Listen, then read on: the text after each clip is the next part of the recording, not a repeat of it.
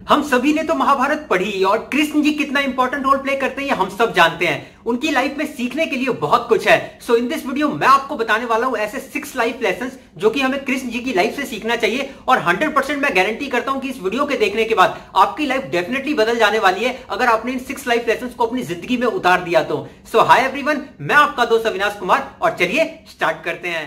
Never give up on what you learn Krishna ji को अपनी flute से, बांसुरी से बहुत ज़्यादा प्यार था। इसीलिए वो बहुत सारे कमिटमेंट होने की वजह से भी अपने हॉबीज को, अपनी बांसुरी बजाना कभी नहीं छोड़ते थे। यहाँ तक कि लड़ाई के समय, युद्ध के टाइम पे भी उन्होंने उसे अपने साइड में ही रखा। इससे ये पता लगता है कि आपकी जो हॉबीज होती है, आपकी जो पैसन होती है, उसे हमेशा आपको यूज़ करते रहना चाहिए। चाहे कितनी भी कमिटमेंट्स हो, चाहे कितना भी बिज़ी हो, यही आपकी ज़िंदगी में आपको आगे लेके जाती है।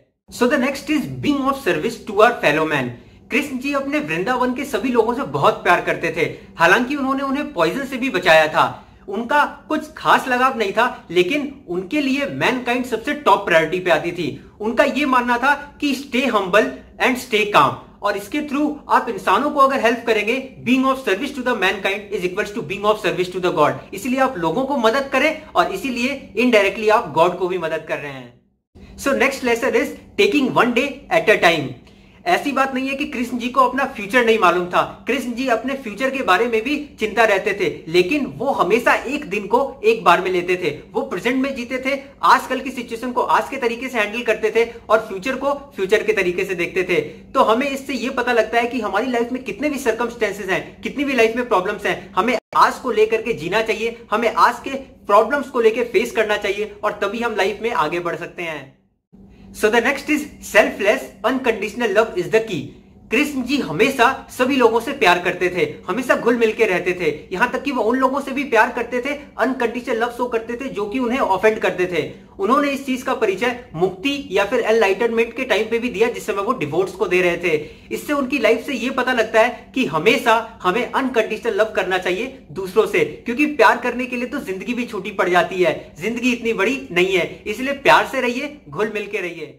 So the next important lesson is valued his friendship हम सब इस बात से वाकिफ हैं कि कृष्ण जी ने अपने फ्रेंड सुदामा को किस तरीके से मदद की। उन्होंने उनसे मिलते समय कभी भी गरीब और अमीर का फ़र्क नहीं किया। उन्होंने हमेशा उनकी हेल्प की और हमेशा उनसे अच्छी तरीके से और अपनी फ्रेंडशिप को वैल्यू और अहमियत देकर के ही उनसे मिले। इससे हमें अपनी लाइफ के बारे में ये पता लगता है कि हमें अपनी लाइफ में अपने फ्रेंड्स को अहमियत देनी चाहिए और लाइफ लॉन्ग फ्रेंडशिप को हमें रिस्पेक्ट और लव से सींचना चाहिए और उसके बाद हमें उसके अकॉर्डिंग लव और एट द लास्ट जॉयबल फील होगा। तो इसीलिए अपने फ्रेंड्स को अच्छी तरीके से ट्रीट करें रिस्पेक्ट और लव के साथ ट्रीट करें और एट द लास्ट आपको रिज़ल्ट और आउटकम बहुत ही अच्छा मिलने वाला है।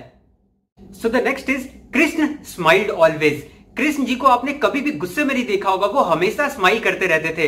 ऐसी बात नहीं है कि उनकी लाइफ में प्रॉब्लम्स नहीं थी, उनकी पूरी लाइफ समस्याओं से घिरी हुई थी, पर उनके चेहरे पे हमेशा आपको एक प्यारी सी स्माइल देखती होगी। और ये स्माइल ही उनके प्रॉब्लम का सोल्यूशन निकलती थी। ये सबसे सिंपलेस्ट लेसन है, लेकिन बहुत ही इंपॉर्टेंट लेसन है आजकल की लाइफ में। हमें इनसे सीखना चाहिए कि हमें अपनी लाइफ में कितनी भी बड़ी प्रॉब्लम्स आ जाए, हमें उसे स्माइल करके फेस करना चाहिए। गुस्सा होकर के, नाराज़ होकर के फ्रस्ट्रेट होकर के किसी चीज़ का सोल्यूशन नहीं निकलता। बल्कि अगर आपके चेहरे पे स्माइल निकलेगी तो जाकर के आपको उसका सोल्यूशन भले ही मिल जाए और आप उस सोल्यूशन को अच्छी तरीके से कोप अप कर पाए।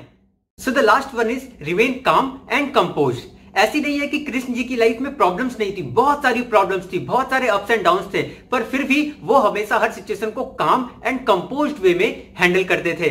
हमारी लाइफ में भी हमें अपने सारे प्रॉब्लम्स को बहुत ही कूल एंड काम वे में हैंडल करना चाहिए, क्योंकि हल्ला मचा करके फ्रस्ट्रेट होकर के या फिर पूरी दुनिया को सर पे खड़ा करके किसी प्रॉब्लम का सोल्यूशन नहीं निकलेगा। यहाँ तक कि आप सुकून और शांति से उस प्रॉब्लम का सोल्यूशन ढूंढेंगे तो ये लाजिम है कि आपको उस प्रॉब्लम का सोल्यूशन आपके सामने दिख जाए। उम्मीद करता हूँ कि आपको ये वीडियो पसंद आया होगा और कृष्ण जी के लेसन से आपको बहुत कुछ सीखने मिला होगा।